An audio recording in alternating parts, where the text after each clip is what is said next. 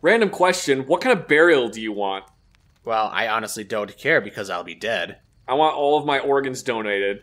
That's good. I have. I'm an organ donor as well. I want all my organs donated. I have, I have three options that I'm letting people choose from. Take my organs and bury me. Take my organs and throw me off a cliff, or take my organs and burn me alive. It's- not alive. Don't do that. Don't do that. Take my organs and bury me. Send my body to one of those body farms that they where they just throw bodies in the middle of the woods. They Just chuck a body in there. Yeah, Yeah, it's just a big fenced off area that's in the woods that nobody is allowed into except for like police detectives that are going through training. And they just leave bodies out there in the woods so that they can start decomposing so police officers can see what bodies look like at different stages of decomposition. Is that the purpose of that? That farm? is actually the purpose of the body farm is so that they can get experience to see what a body is going to look like at different stages of decomposition. And it actually helps solve crimes. And I think that's a really good thing for it. He- Here I was just thinking it was a, a naturalist's ideal way to go. I'll get to that one in a second. The third option I have is um, like donating my body to science so that medical students can poke and prod at it and do all kinds of fun stuff like that. If I'm buried, I want to either be cremated, but not really because that's like really expensive. I want a, um, it's called a natural burial. And what they do is they basically wrap you in linen cloths and bury you six feet underground. I don't want an open casket funeral. I don't I don't really even want like a whole funeral or anything. I just want my body to be wrapped in linen and buried six feet underground somewhere. It's perfectly acceptable. That's what we did for like thousands of years before we decided putting people into coffins was a good idea. What if your family wanted to have a presentation and wanted to do all that normal stuff? Uh, I'm gonna get it put in my will that that's what I want done with my body. I do not. I don't want them spending money on a funeral. okay, but again, it's not what you want. It's about what they want. And you like you're gonna have the energy to write a will. Before I went to Iraq, we did have to fill out a last will and testament and like a life insurance policy. Um, and on my last will and testament, before I went into Iraq, I told my family that I want that if I died in Iraq, I wanted my tombstone to say, "I can't fucking believe I gave my life for this shitty country." You think they would have gone through with that? I highly doubt they would have, but I, it was going to be in my will, and they were they would have had to contest it. They would have had to go to a lawyer and be like, "We're not doing this," I and a lawyer would have to be like, "Well, I this was on his last will and testament, so you kind of have to." so that was after you'd been in for a few years. Yeah. Once the nationalism had drained from you. Once all the nationalism was gone and I was ready to get out of the military, and then the military said, No, no, no, my friend, you- we're sending you to Iraq. Have fun, buddy. I told, I, I literally wrote that down on the form, and the person that was helping fill out the form, who was a civilian, she's like, Do you want to add anything to it? Yeah, I want to add this. Wrote that down on there, and she's just like, she sighs heavily.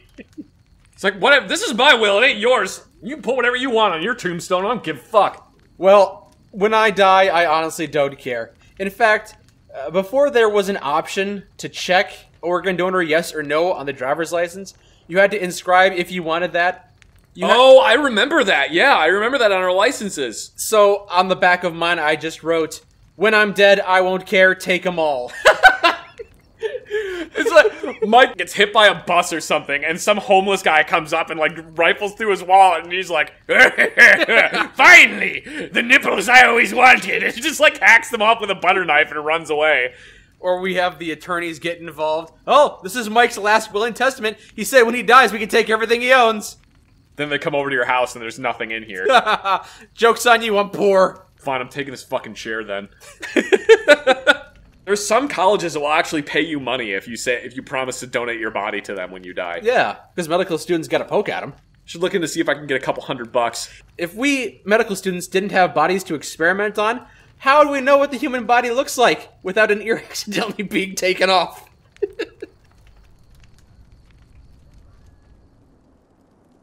I decided to be a pollo vegetarian. So you eat chicken and vegetables? Yes. Is this recent? Yes. Why? Because cows have a huge impact on the environment. And they are burning sections of rainforest to make way for cattle raising, and I don't want to be responsible for that. Oh, okay. I will go cow free. No All more, right. no more beef. It makes me sad. I do enjoy the occasional steak or hamburger, but no more. Why don't you just eat the Impossible Burgers? Uh, you have had some of those vegetable burgers. Are they good? No, I liked them. I thought they were pretty good. I, if you hadn't told me that it was a vegetable burger, I probably wouldn't have known the difference.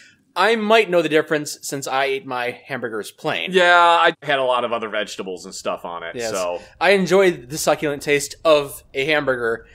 I didn't want it smothered by other things like condiments, so I probably wouldn't enjoy the I don't know. You probably would still like it. Maybe. Vegetable meat has made it really far. I had some vegetable chicken breasts. I didn't realize those were a thing. They have nailed chicken breast. They got it like perfect. Damn. All right. It is it is on point. I would have just thought it was normal chicken. You're t- you're telling me that chicken breast is indistinguishable from synthetic chicken breast, in your opinion? Yeah, like the vegetable chicken breasts that were made by Morningstar are really good, and also the um, the veggie meat crumbles. That's really good too. I and I guess I can I can understand the not wanting to eat beef because of the massive negative impact that cows have. I'm not in it for my health. Obviously, I don't take good care of myself, but but I do want to lessen my impact a little bit. Are you gonna drink milk? I was thinking about that. I thought maybe I'd go completely cow free. I would be cow vegan because I don't drink a whole lot of milk. Get almond milk. Almond milk tastes better, and it's exactly the same. Cutting milk out of my diet wouldn't be a big change since I drank it maybe once a month. And I thought about it for a few more seconds. Nope, I still eat cheese. That's not going away. Yeah, that's that's kind of the hard part. My sister has uh, celiac disease, so she can't have any wheat at all. Uh, she actually needs gluten free stuff. She actually, yeah, she actually does. Because if she eats any kind of wheat, her body just like goes completely insane, and it can't stand it. Hmm. I thought maybe I might have it. I ninety. I have some kind of weird intestinal problem. I don't know what it is. I haven't really bothered to look into it. One of these days, you'll get health insurance that will enable you to find out. I don't know. Whatever. Um. Or you'll just keep shitting yourself. I'll just keep shitting myself. I don't really fucking care. Yeah, so like I was, I tried to do that for a little bit, and it's just everything has wheat in it. Yes. It's everything. Lots of things have wheat and sugar in them. Ah, fine. Okay, I can't eat wheat. All right. Well, I'm gonna get this box of wheat. That, well, no, I can't eat the wheat thins. Um. Okay, Tris, Triscuits have wheat in them. All right, fine. I'll get this box of potato chip that has wheat in it. Yeah. What doesn't have wheat in it? Tostitos. Yeah. That's corn flour. That one's different. I got some like corn flour bread at one point. Oh, it's so bad. oh, it tastes awful. It's not good. I hate it. It's like cornbread, only terrible. But yes, to get back to the point, yeah, no more no more beef. I did not know that. I will have to start sneaking beef into Mike's house Uh, why? To, just to make you eat beef again. but why? Why would you do such a thing? I don't know, because I'm evil. Okay. I, I wouldn't say I'm a strict anti-beef guy. Like I got some beef hot dogs in my freezer right now that I probably will eat because it's not a cow puzzle. I can't put it back together. It's already dead. Yeah, that's true. I, I'm also probably going to make an exception for pepperoni because I can't just eat cheese pizza. I thought pepperoni was ham. Uh, it's cured pork and cured beef, I believe. Oh, okay. It's like a mix. yeah. Okay. Yeah, whatever. Who Yeah. cares about that? I, I'm also going to make an exception for my dad's Christmas meatballs. That's an annual thing, and they're delicious. Yes. Making a lot of exceptions here. No, I don't think so. the important thing is I'm reducing my meat consumption, which is important. Eat nothing but meat and make yourself constipated. I'm not going to take diet advice from you. No offense. Ugh, I give the best diet advice. I thought briefly about becoming a pesco, pollo, cerdo vegetarian, which means I would eat chicken and fish and pork, but I already don't eat fish, and I barely eat any Why pork. don't you eat fish? Why would I eat fish? It's just Fish is fish is delicious. The only delicious fish I've ever eaten was the, the, the fish from the Alaskan Sea that the Navy served us. Yeah, fish is great. I also don't eat very much pork. I don't like pork chops. I don't like much ham. Bacon is not worth the hassle of cooking it up. You need to broaden your horizons on uh on foods. I no, I'm just gonna keep on eating. Try eating some weird stuff. You gotta have tr- takoyaki. Takoyaki are octopus dumplings. Eh, I've had octopus before. It's all right. It's an octopus dumpling though, Meh. But it's got octopus in it and then this other stuff, and it's like the perfect amount of sweet and savory. Mm, dumplings. are- It's just bread, so your sister would not be able to eat that either. Well, there's something. In, there's something else in it. I can't remember Octopus. what it is. Well, other than the octopus, there's like the sauce in there. Yeah, but it's also bread, so Have you ever had shark? no, Shark's really good. Have you ever had oyster? no. Have you ever had mussels? You're listing off all of these meats you want me to try. I just told you I want to eat less meat to make less of an impact on the environment. I'll try other vegetables and fruits, maybe. It's been like a decade since I had a banana. Maybe they're good now. Uh, no, they're still not. and that's just a fact. Bananas aren't good. Don't the- eat bananas. Okay. Um, You, you have to do that every once in a while. You have to reevaluate your taste buds because your taste buds change over time. I, I recently thought I haven't had celery in forever. Celery's probably good. People always talk up celery. They say it's mostly water, and I like water. So I will eat some raw celery and see how that tastes. Nope, don't do that. Raw celery is terrible. oh, I actually like raw celery. Gross. I'll just go to town on some celery or Yeah. carrots. I love carrots. No, it's so bitter. Carrots are fine though. I wonder if eating food is really necessary. Could I just not eat? There are reports of people that are called sun gazers, and they would stare at the sun and get energy from the sun. I don't think that works. I think they're full of shit. I think that as soon as the reporter that's investigating that turns around, they're just jamming 50 Twinkies down their craw. Immediately hook themselves up to an IV, pumping a beef broth into their veins. But you want a lot of guns, don't you? Want to? You should probably taper that hobby a little bit. Otherwise, you'd have a lot of firearms and not much else. I actually don't have that many guns right now. At the moment, no. No, I think I only have seven. Is this a cycle you go through where you say, "I want this gun," and then you have that gun for five years, and you sell it for money because you want a different gun now? That happens. That does happen, yes. At least you're willing to admit it. No, that does happen, yes, where I'll buy a gun and then, like, a couple years later, I'll be like, nah, I don't really like this one so much. I'm gonna sell it and buy a different gun. I do that. Doesn't it seem absurd to you? No, not really. No. Guns retain their value decently well. I'm not saying it's a waste of money. It just seems absurd. You'd have a pistol, a rifle, and a shotgun, but you gotta keep swapping out the models. You gotta trade your Impreza for an Impala. You keep on trading, trading, and trading.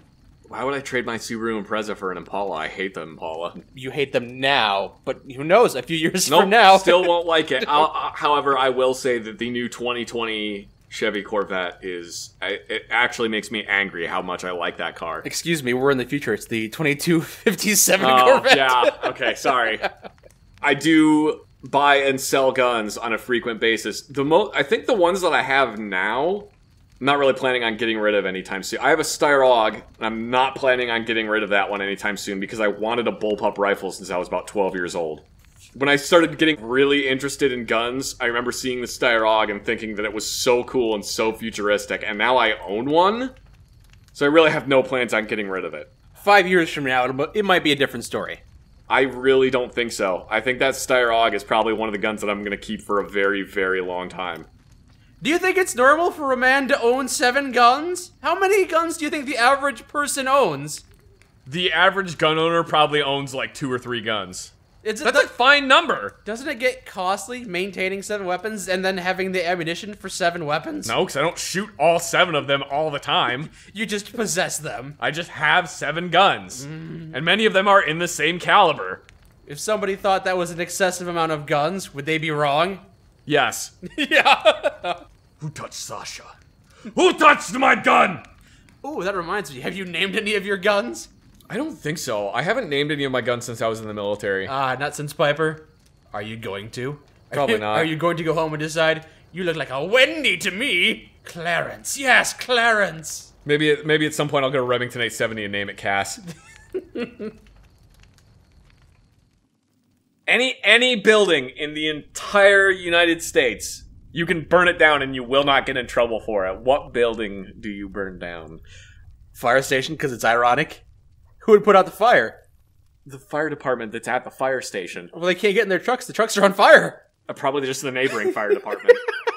they would probably show up and put it down. Mm-hmm. Or put it down. Put down the fire. Put sorry, it down! Just shooting the fire! I'm sorry, your fire is 15 years old. Its eyes have gotten bad. We're gonna have to put it down. Jeez. I can burn down any one building and I won't get in trouble for it. Oh, we're not getting in trouble for the things we burned down now. No, you're not getting in trouble for it. That's what I said. I specified that you won't get in trouble for it. All right. Probably Dick Cheney's house. Ah, getting a little political, are we? Uh, Don't like Dick Cheney. Bit No, of a warmonger. Bit of a warmonger who profits off people being killed. I don't think I can say that on, on the internet. Because that, that would be real. Because then he's gonna come after me. Dick Cheney's just a modern day boogeyman. I hear if you look in the mirror and say his name three times, he pops out and takes all your oil. No, he pops out and shoots you in the face with a 12 gauge. ah, sorry, I thought you were a peacock. thought you were a bird. Well, on, uh, and, you know, on on the other end of the spectrum, there is the fact that Epstein didn't kill himself. That's not relevant to the conversation. I had to throw it in there though. okay, free Hong Kong. Free Hong Kong. This video has been immediately banned. You, you can't get YouTube in China. So I can say whatever I want about the Chinese government. Probably, yeah. Hong Kong number one, China number four. Free Hong Kong. It's not a show. Do it. Do it, Free China. Hong Kong. Free Do it. Hong Kong. Do Fuck you, China. Fuck you, Chinese government.